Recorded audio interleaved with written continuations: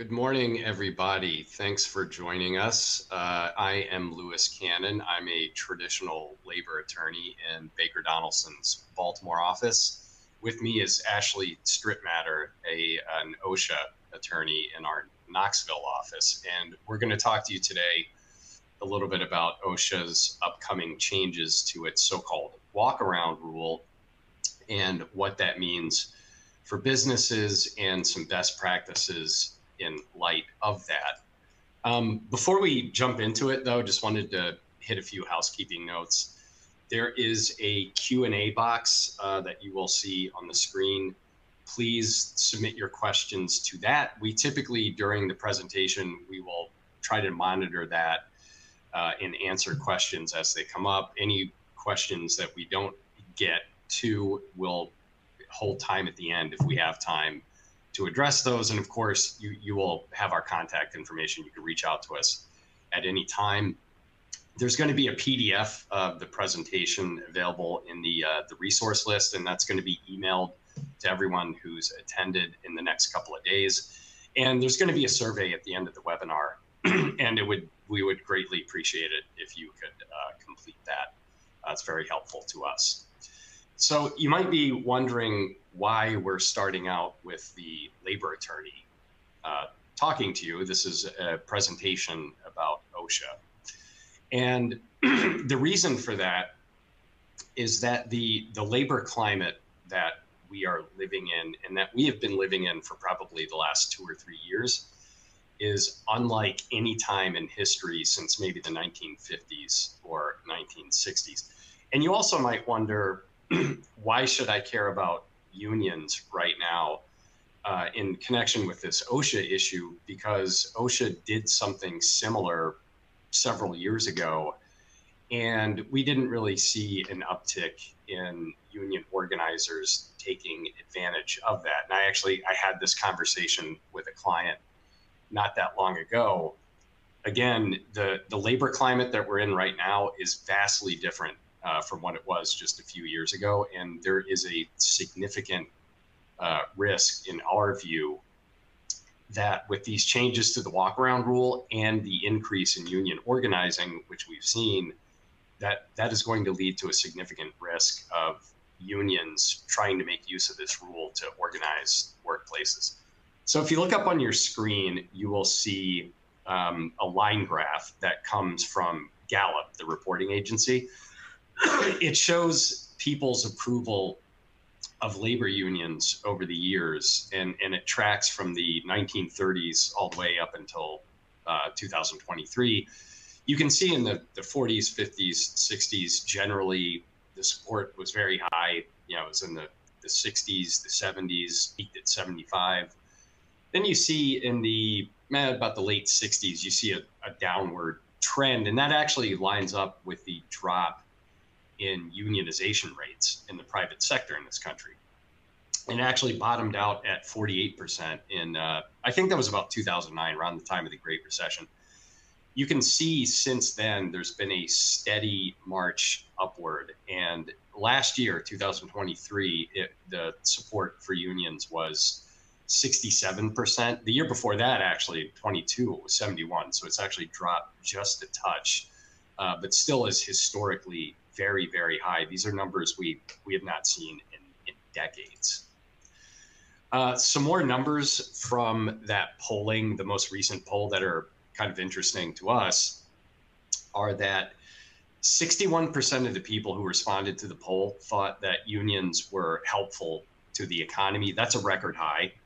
Uh, of the people who responded to the poll who were not managers and supervisors, who typically are not included in a, a union or a bargaining unit, of those people who could vote if their workplace were to vote in a union election, 49% of those people said that they would vote for the union, which is pretty striking because the union needs 51% or 50% plus one of the people voting in an election. 49 is awfully close. If you look at the bottom of that, uh, the third arrow on the screen there, you can see in 1977, that number was 33%. And almost 20 years after that, 1995, the number was almost the same. It was 32%. So this is a this is a massive increase And finally, of the people responding to the poll, 34% of them thought that unions were on the ascent. They were on an upswing and they think they'll be more powerful in the future. And that also is a recent a recent surge after nearly 20 years of that number hovering around and actually just below 20%. So all of these numbers are up, and so is organizing. Uh, should not be a surprise to anyone. so in fiscal year 23, there were over 2,300 election petitions filed with the NLRB. And an election petition is what gets filed after a union collects what are called authorization cards from employees. They go, they have an election, and if they win the election, the workplace is unionized. If you look at the few years prior to that, you can see 2022, the numbers are, are high as well, to over 2,100. But in 2021, there were 1,400. 2020, there were 1,300. 2019, there were 1,700. So you can see starting in 2022, there was a pretty significant uh, uptick. And they have tracked the numbers for 2024, uh, first quarter of the fiscal year. The NLRB tracks those numbers. The petitions are up an additional 35% over what they were last year. So organizing is absolutely booming. You, I'm sure everyone on this webinar has heard about the recent election that the United Auto Workers had in Tennessee. They won that pretty resoundingly. They have another one in Alabama at another car plant uh, in fewer than 10 days, actually. And they feel they have a lot of momentum and they're, they're going to win that.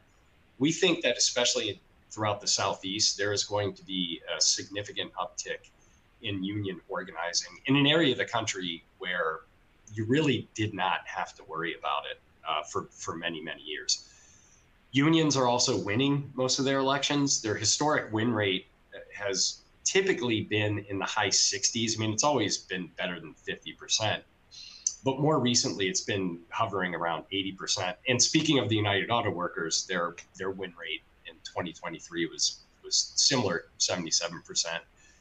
There also are more work stoppages, people walking off the job, uh, either when contract negotiations break down or to protest working conditions in a non union workplace that is protected activity. Those are also up by, by quite a lot. There were almost 350 of those in 2023. That's the highest total we've seen in 20 years. I've been doing this since 2007. And when I started my career, strikes were not a thing that happened. They were a thing that you talked about that used to happen. Uh, but I would say in the last three or four years, they're they're back, especially in the last couple of years. What you'll see up on the screen right now is a map that is published by the National Labor Relations Board. They track all these uh, election and representation statistics. You can see, and hopefully you can see, depending on the size of your screen, uh, by state, this map shows the number of election petitions that were filed, and then you can see the union's win rate. Of course, in the Northeast, and on the west west coast and throughout the Midwest, as has been the case historically, that's where you're seeing the highest number of election petitions. But if you look throughout the Southeast, you're seeing a lot of double digits uh, in terms of the number of petitions that were filed, and those are numbers that would have been very, very low, or even zero five years ago. So this kind of shows the the trend of the the numbers moving up in uh, election petitions getting filed in areas of the country where they were almost unheard of. So, just to talk a, a minute about union organizing, what that is, and how it happens, you have what, what I like to call traditional organizing versus contemporary organizing. So, historically, organizing was mainly driven by financial issues. A union could offer really good pay rates sometimes, uh, favorable healthcare, free healthcare. You know, you had a pension plan, things like that. And as a result, you saw unions mostly in, sorry, uh, blue collar industries like manufacturing, construction, um, trucking, and, and transportation always had uh, pretty high rates of unionization. Hospitality or hotels, healthcare, they, they, they've always been pretty highly unionized as well. and organizing traditionally has been driven by union representatives who actually work for the union. They come in and they kind of do a sales pitch on employees. That that's your traditional organizing model. Organizer who works for the union, I'm going to promise you more money. I'm going to try to get as many signatures as I can. We'll have an election. That has changed a lot in the last, yeah, I would say about 10 years, but definitely the last five years or so. You have what we call contemporary organizing. In a lot of cases, uh, that organizing is driven by the employees with the union kind of in the background. Um, and surprisingly, the UAW, according to the UAW, that recent election win that I talked about in Tennessee and the, the campaign uh, of the one that's coming up in just a few days, the union has said, we didn't really drive this. You know, we, we're there to help and we got people signed up. But for the most part, the people at the plants are running this in a very grassroots fashion. And, and that's something that, you know, is a real change from what we've seen historically. Another difference is that it's not all financial stuff anymore that people are worried about. You have these, I, I like to call them intangibles or contemporary issues like fairness, dignity, respect, um, there may be some tie to social justice issues, pay equity issues. People have feeling that like they don't have a voice in the workplace, they're not listened to, they're not recognized appropriately. Safety issues uh, relevant to today's to today's presentation, that's a big one. Those things will drive organizing. It's not that I think I'm going to get you know a ten dollar an hour raise or my healthcare is going to be free. I mean, those things are nice, they do matter, but it's a lot of these contemporary issues these days that do drive organizing.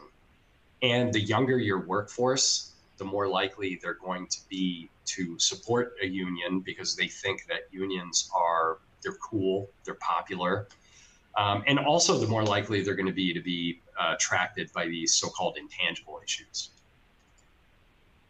Um, just to talk a little bit about the so-called Starbucks organizing model.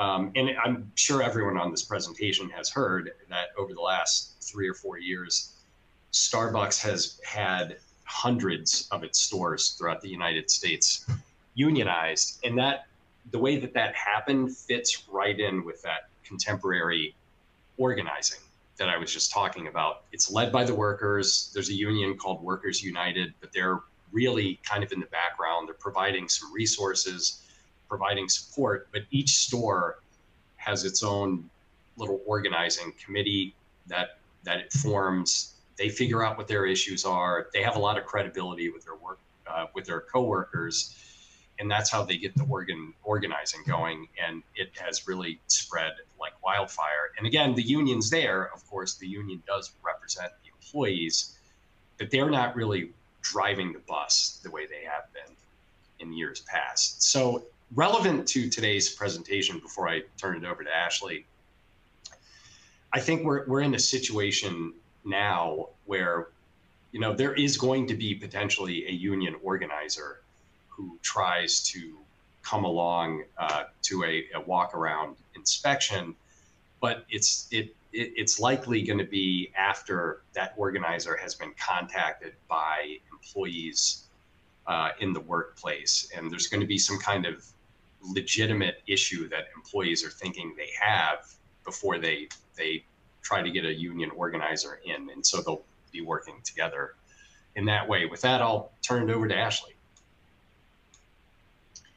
Thanks, Lewis. Um, good morning, everyone. Um, let's talk a little bit about now what does the labor climate have to do with OSHA? And what it has to do with OSHA is this new walk around rule that was published on March 29th in the Federal Register. Everybody calls it the walk around rule. What it really is, is there is a rule called the rep- representatives of employers and employees um, at 29 CFR 1903.8. And this is an expansion of that rule um, that allows third parties to participate in a walk around inspection with OSHA. This new regulation is scheduled to go into effect on May 31st.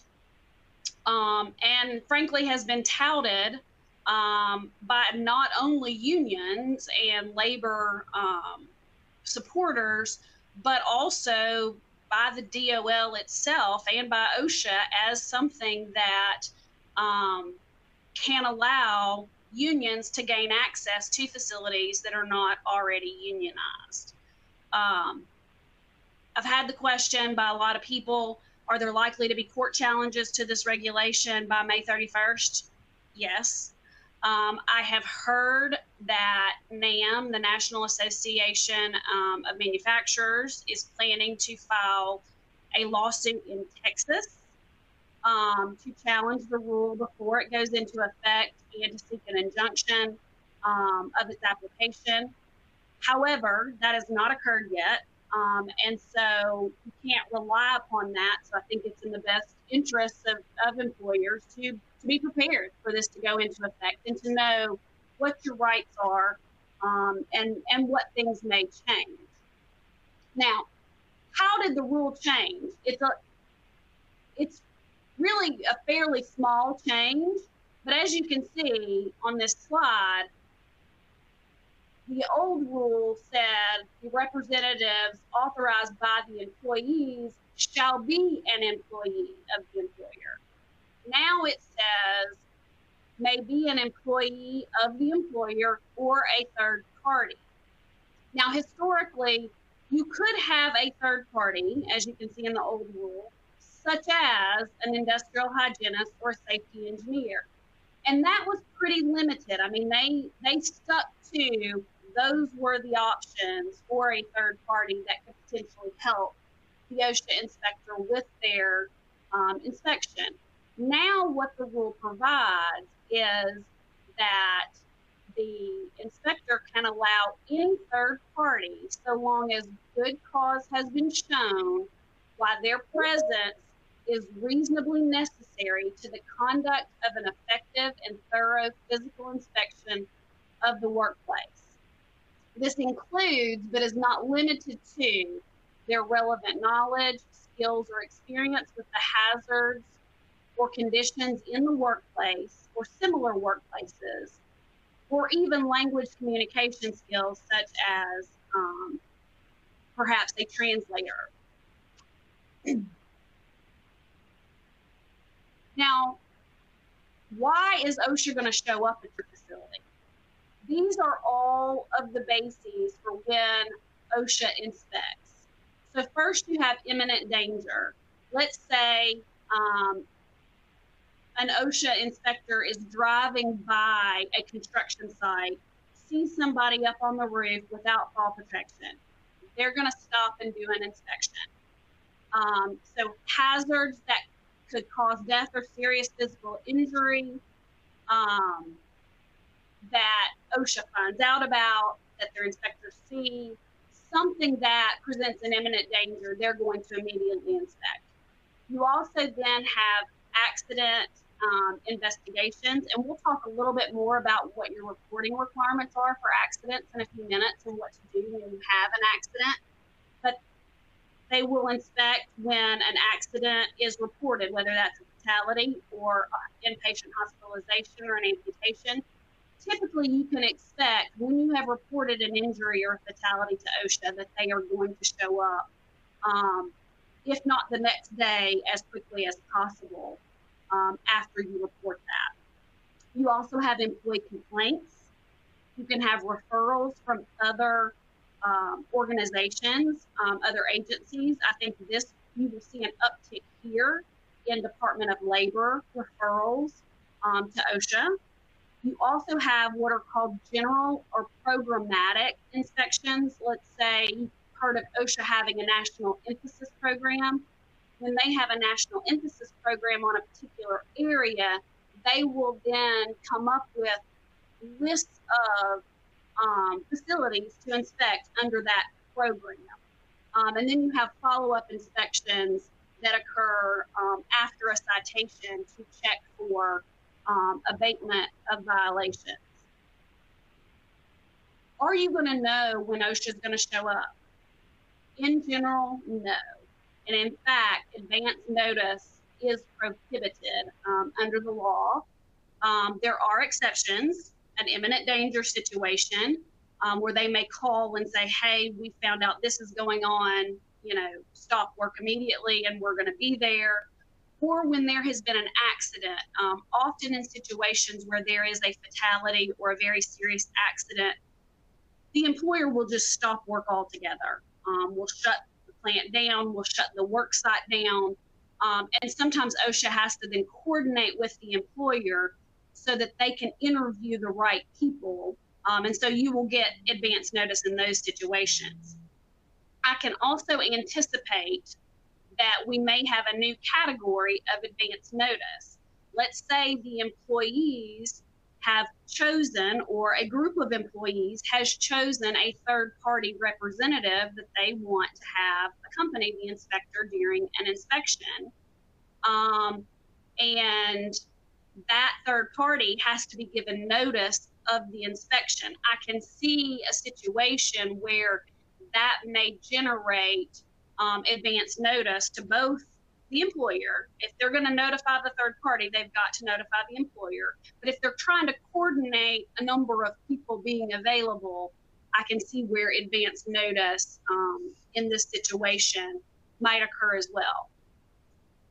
So let's talk about what actually happens when OSHA shows up. So first of all, OSHA is going to show up at your front door, or if you have, um, let's say you're in construction and you're doing trenching or you're doing roofing, they're going to show up on your job site. They're going to walk up. Um, the first thing you want to do is ask them to present your creden- their credentials. Um, they have badges, just like police officers. Um, because you want to know that they are who they say they are. Um, I don't think it's a common practice that people would impersonate an OSHA inspector, but you never know. So you do want to confirm their credentials. They're not going to be offended by that. And in fact, most of them will give you a business card. Um, if, you, if they have a business card, exchange business cards with them. Um, they will then start with an opening conference. In that opening conference, they will tell you why they are there what they expect to do as far as a walk around inspection, if they expect to take any samples of anything, do any type of testing. Um, and then they will, a lot of times, give you a list of documents that they want um, from you. Um, that's just a beginning list because in the closing conference, you are going to get an additional list. So and we'll go through these things in a minute, but be sure to be taking notes during this opening conference. The next thing you're going to have is a walk around inspection. This walk around inspection is where the third party employee representative would be present, and that's why it's called the walk around rule. Um, it's it's to allow both the employer and the employee are allowed to have someone, a representative present during the walk around inspection to um, aid in that inspection. This is not to interfere. Um, this is to observe and to answer any questions that the inspector may have. The inspector will take photographs, um, and we'll talk about that in a few minutes. Um, the next step would be employee interviews. Um, and they will interview if it was an accident, anybody that would have knowledge about the accident, they will also interview potentially other employees in a similar position who might have worked on similar equipment, that type of thing. Um, they will then do a closing conference. I have it written here as closing inspection. I'm not sure why, but a closing conference in which they will um, hand you a pamphlet that says this is how OSHA inspections work. Um, they will go over what they see and what they plan to recommend as citations. Um, and then they will again go over um, their document request. Um, they have six months from the date of the inspection to issue citations. And in recent years, it has taken them about that long. So don't expect to get citations within a week. Um, generally, um, Fed OSHA, you have 15 days to contest a citation. or to set up a in, an informal conference. If you set up an informal conference with OSHA to try and resolve the citations, that does not extend the 15 day to contest. So you've got a very tight window there. If you get OSHA citations, pay attention to them immediately because you have a very tight window in which to contest or they become absolutely final. I have had that situation with several clients over the years who've called me on the 16th day and said, Hey, we got these OSHA citations. What can we do? And at that point, nothing but pay them and make sure that you correct the violations. Um, there is no leniency in that rule. Um, OSHA considers it to be what they call jurisdictional, which means that they don't, once that time frame has run, they no longer have the authority over those citations. They are final, um, and um, there's really nothing you can can do about that. So so make sure to play pay close attention attention if you do get any OSHA citations in the mail. Now let's talk about some practical considerations for how do you prepare for an OSHA inspection, um, what to do during an OSHA inspection, and how this new change to the walk around rule may change what you are doing during an inspection. Um, so we're going to talk through some practical tips right now. The first thing I would suggest is to have a written plan, policy, or checklist to follow if OSHA shows up at your door. Um, designate a management employee who is responsible for meeting the inspector and accompanying the inspector during the inspection. You also want to designate a backup just in case that person happens to be out for sickness or on vacation. But you want to know when that OSHA inspector knocks on the door, you want to know ahead of time whose responsibility it is to accompany them, to be the one taking notes, um, so that you're not scrambling to decide who do we want with OSHA today. Um, I think this is the point at which you consider um, if you have OSHA counsel, um, if you have other labor counsel, um, or if you just have a friend who's a lawyer this is where you want to consider do I go ahead and call my lawyer and say, hey, OSHA is here? Um, do you have any recommendations? Or if they're close enough by, do you want them to come and be part of the inspection? Um, the next practical tip have your OSHA 300 logs ready and available at all times. When an OSHA inspector asks for your OSHA 300 logs, you have four hours um, by statute to get them to the inspector. Now, most inspectors are going to be lenient about that. Most of them are going to say, okay, here's the list of documents that I want. You can send them all to me via email tomorrow. Um, but you need to make sure that they mean that with regard to the OSHA 300 logs because I've seen a lot of employers get tripped up because they didn't provide those 300 logs within four four business hours. Um, in in preparing for an inspection and thinking about having OSHA in your facility and now potentially a non-employee third party, think about any areas where you want to raise trade secret or confidentiality issues. Um, this is twofold. This is one, you want to identify that to the OSHA inspector. OSHA's file is public. However, they can mark things tra- trade secret or confidential and withhold those from a Freedom of Information Act request but you have to make the request and the proffer for why these are trade secrets, why this is confidential. Um, so you need to make sure you've made a determination ahead of time. Are there areas that we need to be concerned about trade secrets or confidentiality if the inspector is walking through our entire facility? The other thing you want to think about doing, and again, this relates to this this new third party um, access rule, is developing a visitor policy that includes a confidentiality agreement, that includes things like where visitors can and cannot go for safety reasons, includes PPE that visitors must wear.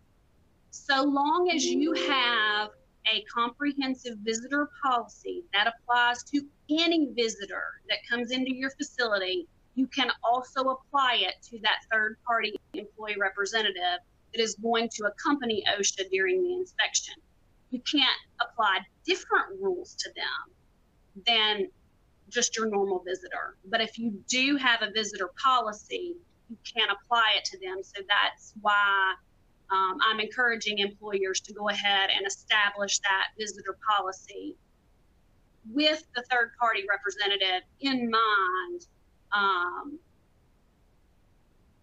for what you would want to restrict them from or protect them from, frankly, because they are on your property. Um, and there have been questions raised about who's liable for their safety. Um, you know, as the employer, as the owner of the job site, you do want to make sure that they are wearing appropriate PPE and and conducting themselves in a manner that is safe in your facility.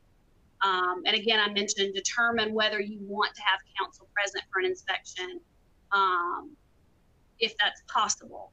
Um, I have participated by phone in inspections where I couldn't get there. OSHA will generally allow about an hour for anyone to get to the facility that you want to be there for the inspection. Let's say, for instance, not worried about your attorney getting there.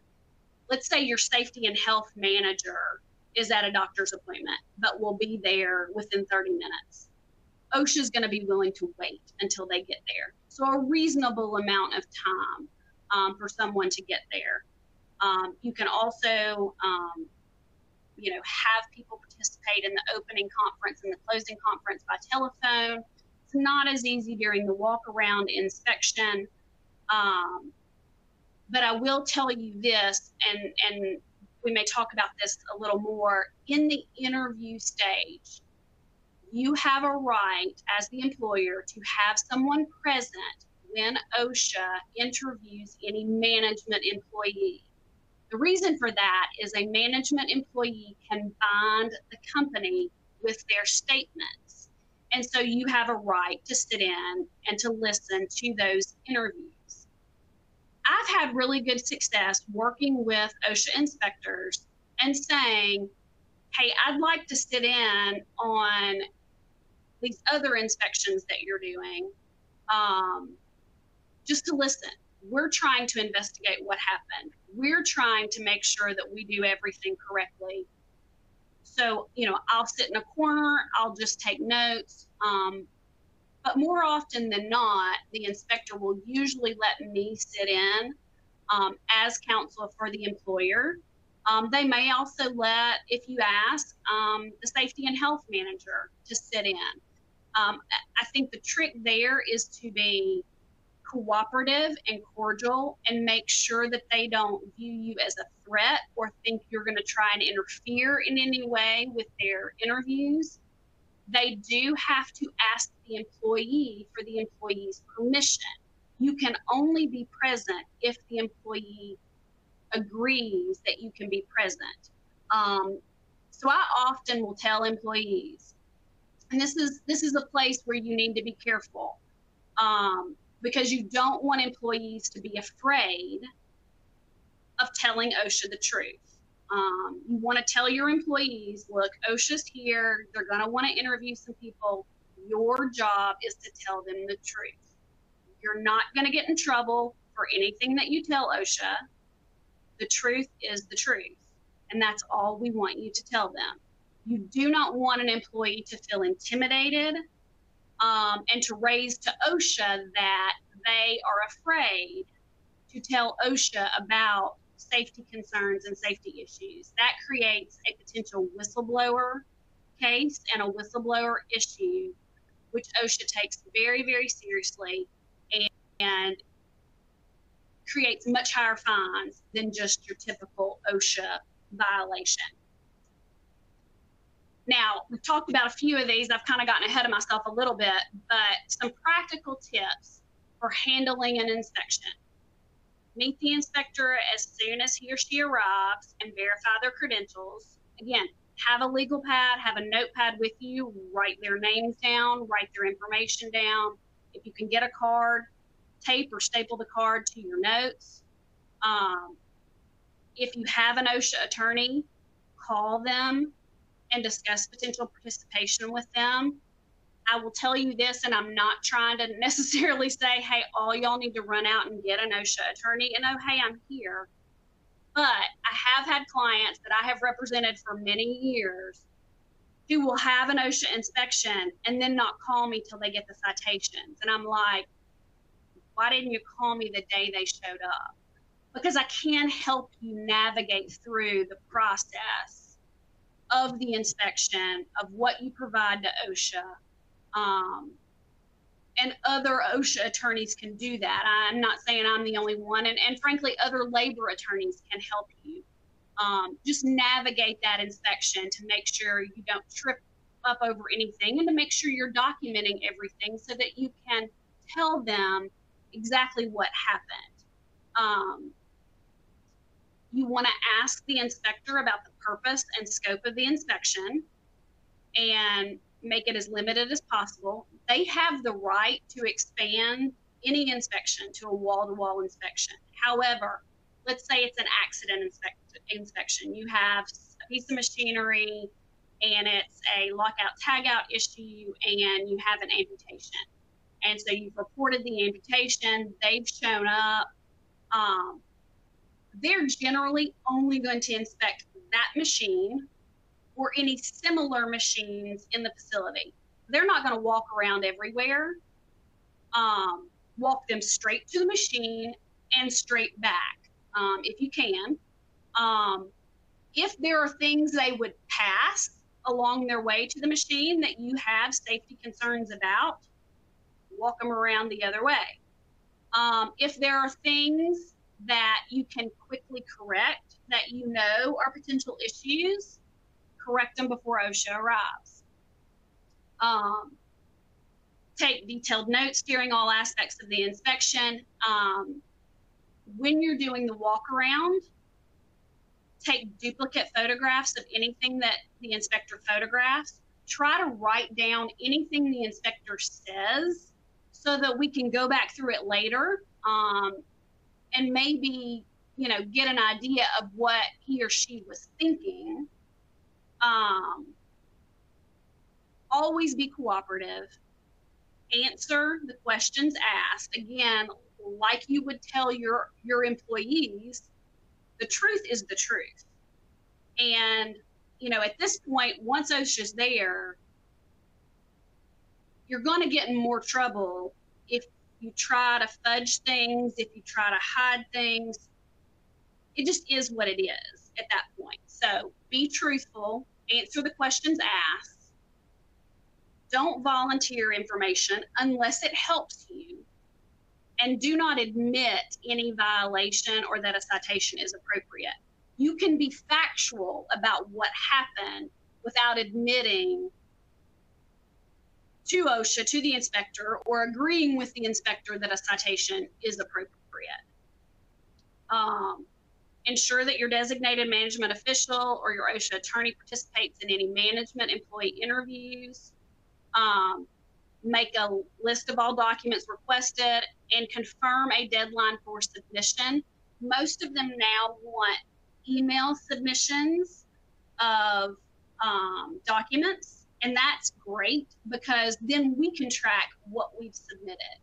Um, you can also have your attorney get involved at that point and have your attorney be the one who does the submission to OSHA of the documents. But you want to make sure that you have a complete set of everything that you gave to the OSHA inspector.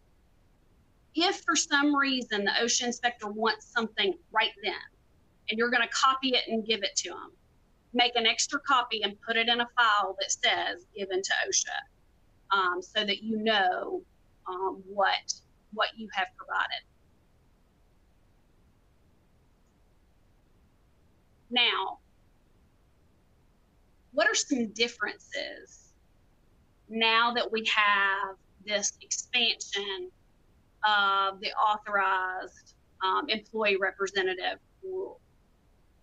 First, going back to the union issue, if you have a collective bargaining agreement, review the union's access rights under that agreement to determine if there is, you know, a reason or a basis to restrict their intent to include a union representative in a walk around inspection.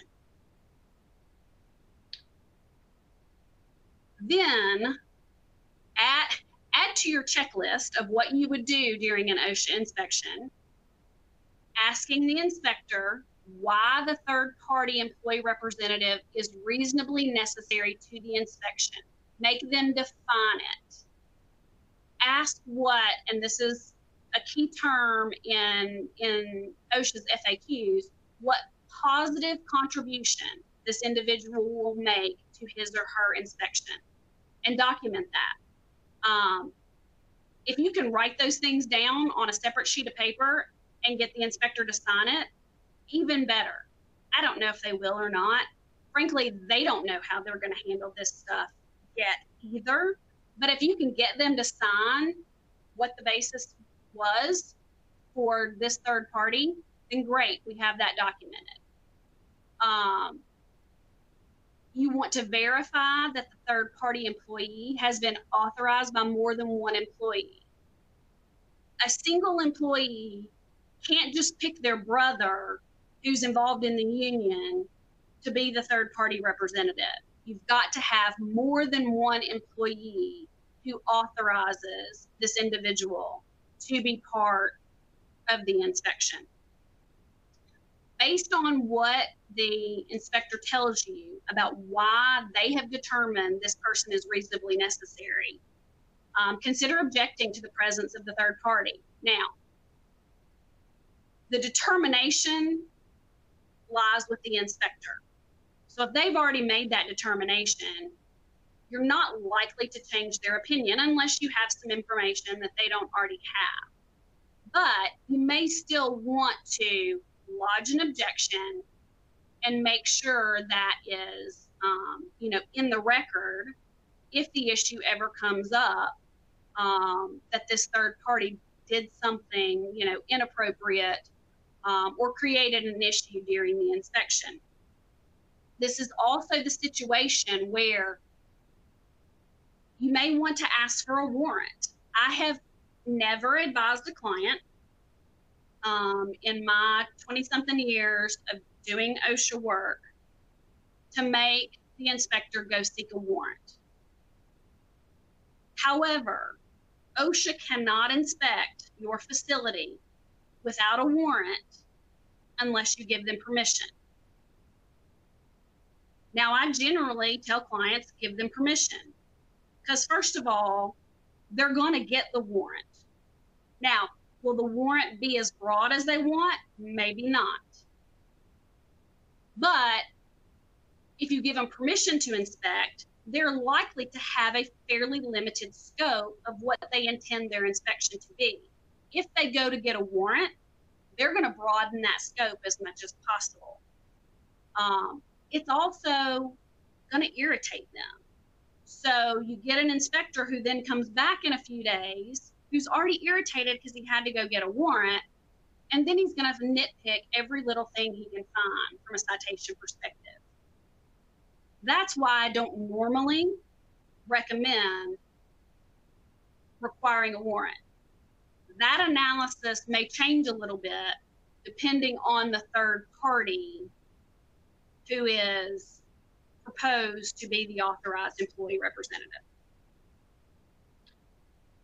Ensure that the inspector advises any third party employee representative that matters unrelated to the inspection are not to be discussed with employees during the inspection. They can't talk about union organizing, they can't hand out cards, they can't do anything that is not in aid of the inspection. So first you want to ensure the inspector has told them that. And then you want to watch for activity by the third party employee representative that's not in aid of the inspection and bring that to the inspector's attention. And I know we've got a bunch of questions, and I'm going to try and go back through them in just a few minutes. I want to make sure I get through. These are just a couple of my, in every OSHA presentation, I remind employers um, one of your best friends is your an unpreventable employee misconduct defense. So many times when we have an issue, it is something that an employee is doing to hurry up and get something done, to cut corners. It's something they've been trained not to do, but they do it anyway. The only way you get around a citation in those situations is to be able to meet the criteria of an unpreventable employee misconduct defense. It's not as simple as saying, we had a rule and he violated it. There are four criteria, and those criteria are you have to have a written safety and health policy or procedure that would have prevented the violation. So, whatever they did was against a safety policy or procedure in place. That policy or procedure must be effectively communicated to the employees by training, by signs, labels, things like that. You need to have um, documentation of the employee training, sign in sheets, um, quizzes, um, any kind of documentation showing that that particular employee went through the necessary training on the policy that was violated, that you have an effective means to detect safety violations. Your safety manager walks around once a week with a clipboard and a audit sheet where they they check everything through the facility and check off yes that everything was being done correctly. So you do audit your facility on a regular basis. And the last thing is that you enforce your safety policies and procedures and you discipline employees for violations. This is where a lot of my clients have a problem. They do all the first three, but they don't discipline employees. Now, that doesn't mean you fire them the first time they're not wearing their hard hat. A verbal warning for a first incident works have an enforcement policy and actually enforce it, and then document it in the employee file. Um, and I would say come up with a way that safety violations are documented in a way that you can find them if you need to raise this defense. It's kind of hard when they're just in employee files. I would suggest starting a safety related employee discipline file that if somebody is verbally reprimanded, you put a note in their file and in this safety related discipline so that you can always have access to it when you need it. The other thing I always like to remind everybody is your fatality and hospitalization reporting requirements. So, all employers are required to notify OSHA when an employee is killed on the job or suffers a work related hospitalization, amputation, or loss of an eye. A fatality must be reported within eight hours of the employer learning of the fatality. Understanding that sometimes you're not going to know immediately when an employee passes away if they have, are in the hospital. Um, but it's within eight hours of the employer having knowledge of the fatality. For an inpatient hospitalization, an amputation, or loss of an eye, that must be reported within 24 hours. OSHA prefers online reporting, um, and it's pretty simple. Just be prepared to supply business name, um, names of employees affected, location and time of incident, a brief description of the incident, and then a contact person and phone number. Um, and that's generally when you're going to get a call that says, hey, we want to come inspect, and that's how you would get advance notice of an inspection in this type of situation. Um, inpatient hospitalization is interesting. An inpatient hospitalization is only a formal admission to the hospital. If someone is in the emergency room, that is not an inpatient hospitalization. And so somebody may even spend the night in the emergency room and not be admitted to the hospital. So you're going to have to make some judgment calls on the reporting when it comes to um, inpatient hospitalizations. And then if the fatality, inpatient hospitalization, amputation, or loss of an eye doesn't occur right after the work related incident, if the fatality occurs within 30 days of the work related incident, you report it. If the hospitalization amputation or loss of an eye occurs within 24 hours of the work related incident, then you report it.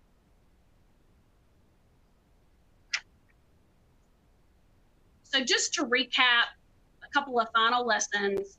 Um, first, conduct internal inspections yourself to ensure compliance. That not only helps you with the employee misconduct defense because you're auditing um, compliance with safety procedures, but it also helps you to identify areas in which you need to make some changes or make some updates.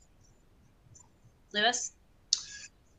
You also, if you do get an inspection, you want to walk the line of, of course, being cooperative uh, with the inspector and inspectors, but you also don't want to make their case for them. One thing I always tell witnesses when I'm preparing them to be cross-examined by the other attorney is just answer the question.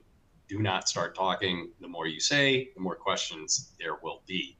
If you stonewall, you're probably going to widen the scope of the investigation. But if you talk too much, you're probably going to widen the scope of the investigation. So be a little bit, uh, exercise some judgment in uh, what you share with the inspector.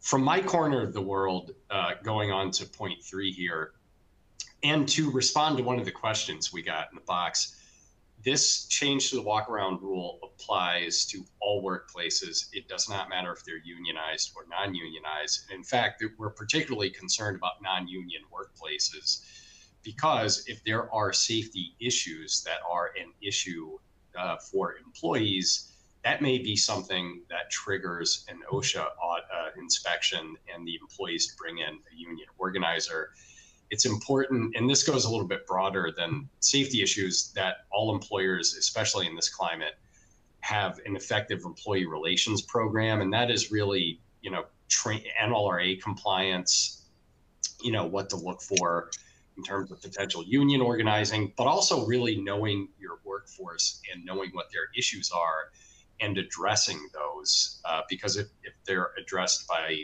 the employer, employers employees are not going to feel the need, you know, to go to a union to try to get those issues fixed.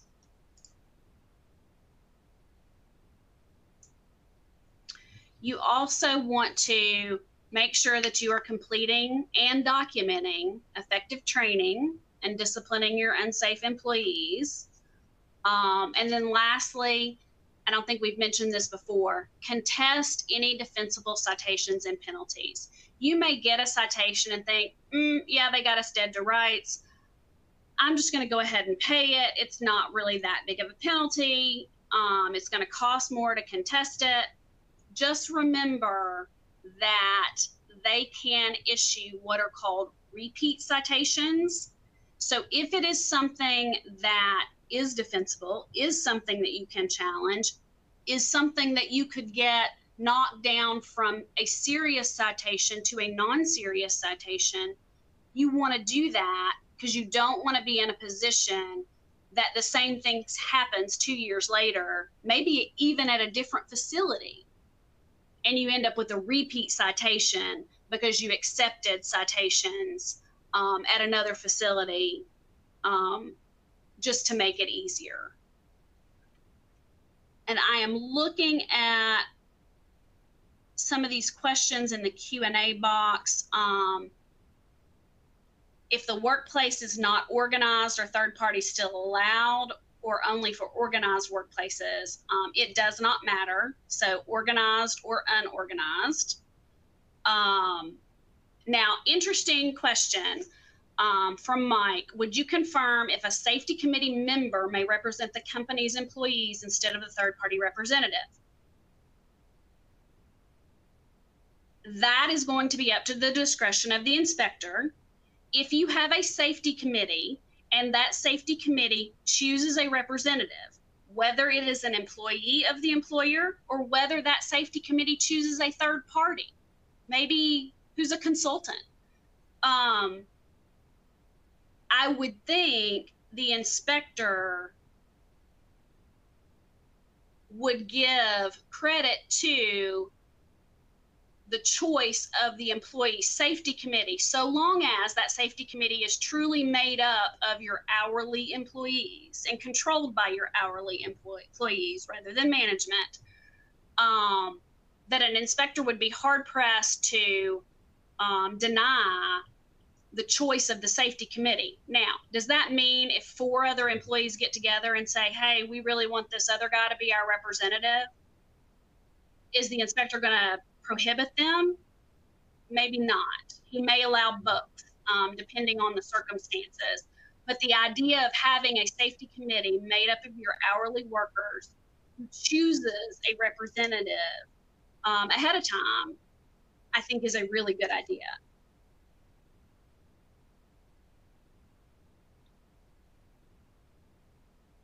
Let's see, beyond OSHA 300 logs, what documents do they usually um, request um, at the inspection? Um, and I, I, see your question says, what, what are they permitted to request now? The only thing that has that four hour time limit is the OSHA 300 log.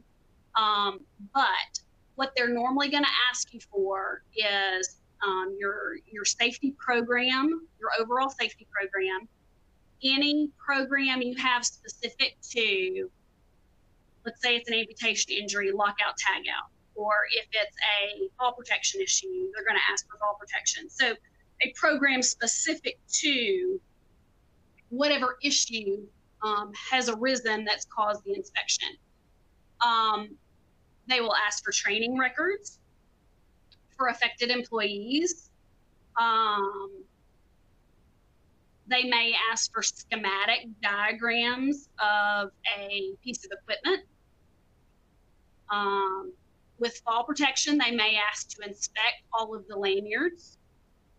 Um, those are just some examples, but they are going to give you time to gather the documentation. The only thing I would recommend that you just have available on hand so that you know where it is um, are the OSHA 300 logs. Can an employer record audio and or visual conferences, interviews, or walkarounds? I have never tried that. That would be up to the discretion of the inspector.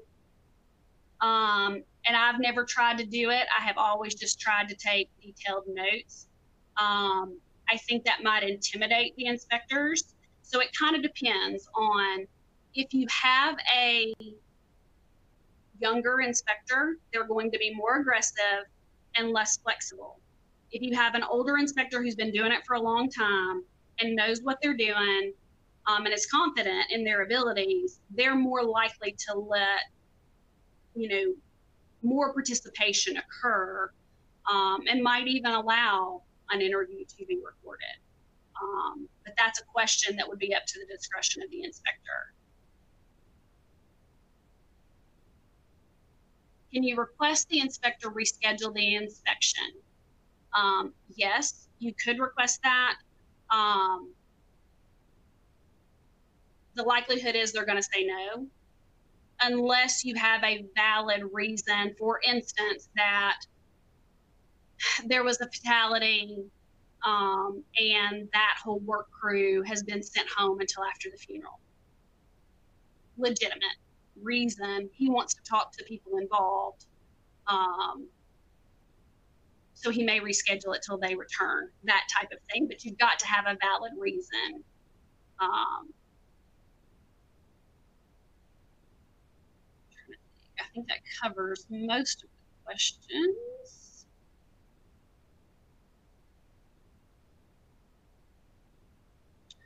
What if a plaintiff's attorney is selected by the employees to do the walk around? What recourse does the employer have? I think that's an instance where you object and say this individual does not have any specialized knowledge that can aid in the inspection and demand what specialized knowledge this individual has. If it's your average plaintiff's attorney, they're not going to have any specialized knowledge that's going to aid in the inspection. Um, now, if this plaintiff's attorney happens to be a former, you know, OSHA safety consultant, then you might have a problem. But those, that is definitely one of the situations where I would object. And perhaps you make them seek a warrant, and in that, and when they seek the warrant, um, you raise that issue um, that they shouldn't be allowed to bring a plaintiff's lawyer, you know, into your facility under the guise of an OSHA inspection. I think that's a very valid situation that you may want to go to the mat over.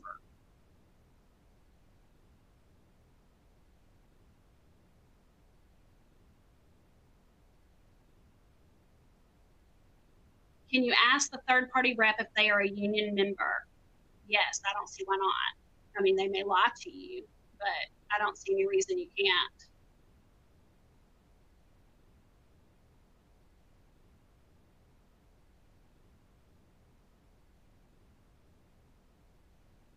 If I work at Pepsi and the non employee third party shows up wearing a Coca Cola shirt, can I direct the third party to wear something other than the Coca Cola shirt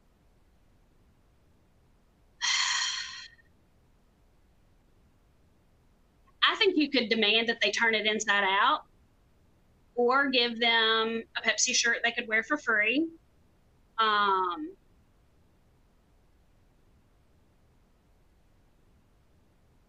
again, I don't know if you can force it or if you could object to the third party and say they can't come in if they have a Coca Cola shirt on, um, unless perhaps you have something in your visitor policy that says no visitor to the facility may wear anything that advertises anything. You know, uh, you know, like like the rule with what what occurs to me is with voting. You cannot wear a T-shirt that supports any candidate when you go into the polls to vote. Seems very very similar to me. Um, but I would I would try to craft it into your visitor policy so that it is something that applies to any visitor in the facility, not just this third party um, representative um, wanting to come in for the OSHA inspection. Okay, I think we got to most of the questions. If we didn't get to your question, I apologize. Um, feel free to email me and I will be happy, or you've got my phone number, give me a quick call and I'll be happy to um, answer those questions for you. We very much appreciate everybody's attendance today and hope this has been helpful to you um, and given you some practical tips um, for how to handle an OSHA inspection if you should have one in the future. All right. Thanks, everybody.